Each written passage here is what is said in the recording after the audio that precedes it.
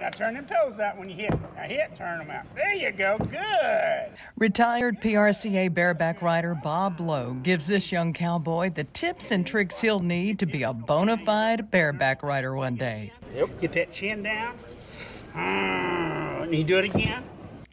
The former nine time NFR qualifier loves being an instructor at the PRCA Junior Rodeo Camp.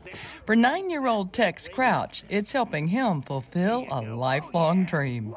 I'm obsessed with bareback riding, and I always wanted to do it my whole life, and I'm just come here to learn. And Hold up your little hand. There you go. Right there. These future cowboys also learn the basics and fundamentals of saddle bronc and bull riding. For Tate Stratton, a three time NFR qualifier in bull riding, it's about teaching safety first and fundamentals second.